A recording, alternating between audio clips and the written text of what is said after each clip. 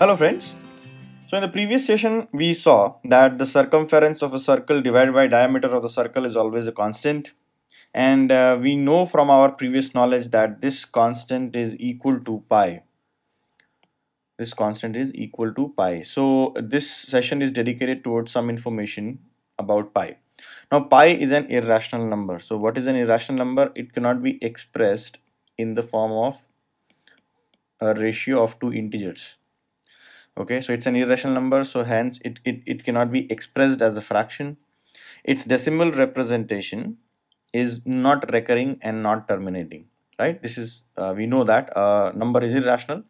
If its decimal representation is not recurring or non-terminating. Now pi value is you know 3.14159265 and it goes on. It gives random digits here. It's very difficult to find a trend in uh, the digits of pi. Hence, it's an irrational number.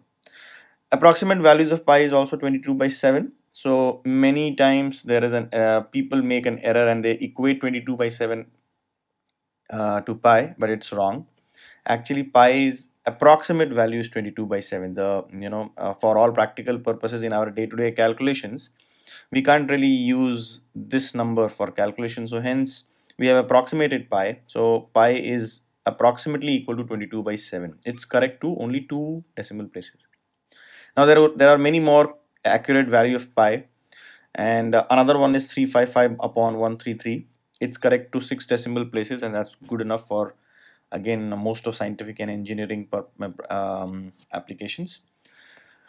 1 upon pi is 0.3183 this is another good information because uh, uh, you'll see pi into 1 pi pi is approximately equal to uh, 10 so many a times uh, we use this um, calculation right? Pi into 1 by pi is approximately equal to so I'm writing pi into 1 1 upon pi is approximately equal to 10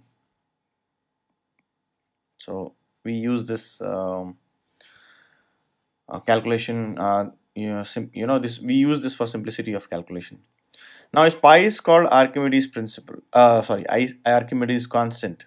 Now Archimedes was a third century BC um, philosopher, scientist. He created an algorithm to calculate pi as early as 300 BC. Now the value of pi is not restricted to only uh, Greeks. Actually, there are lots of evidences which show that pi was being used in Egyptian civilization, Mesopotamia and all, where uh, closest approximation of pi were used so uh, one closest approximation was 25 upon 8 so people were using pi since long long time. Now there are these uh, expressions of pi. So you know pi is uh, circumference divided by diameter of a circle.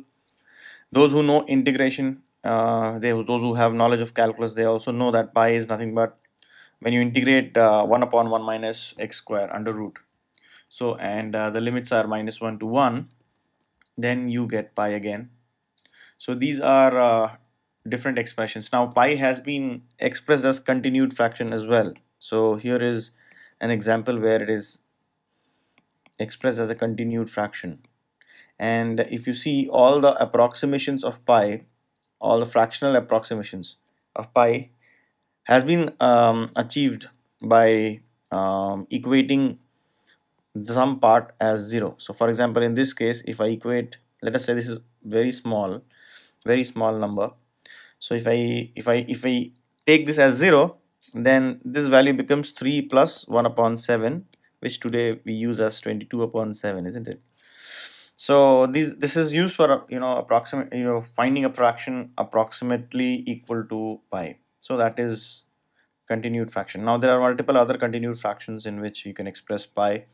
So pi is also 4 upon 1 plus 1 square upon 3 plus 2 square upon 5 so on and so forth. This is one continued fraction. Another one is this.